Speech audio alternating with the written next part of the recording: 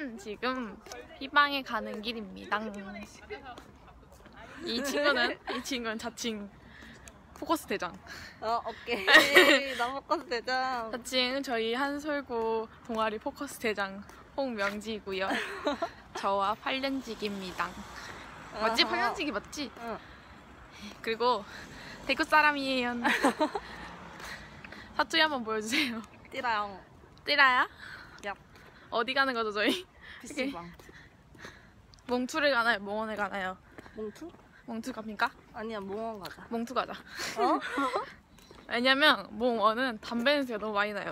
난 몽원이 더 좋은데, 몽원이 더 조용해. 아 그리고 저번에 몽원에 갔다가 백, 백, 배그를 못했잖아요? 아, 몽투 가야 됩니다. 어, 저희는 2시간 동안 배그를 하다가 독서실이나 카페를 가서 공부를 할 겁니다. 아니, 독서실. 아니요 카페. 아니, 독서실. 아 정말 거의 이 정도면 독서실 홍대 홍보대사 아니야? 홍보대사? 스터디 엠. 말해도 되나? 안 되지.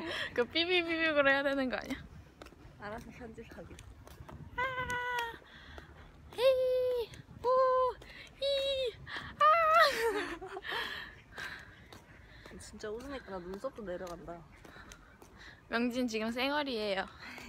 하지만 이 친구 맨날 쌩얼로 다닌다. 그것이 함정. 왜나 하장 알을 하거든? 그러면 피방에서 아, 내가 하나 칠수 있어?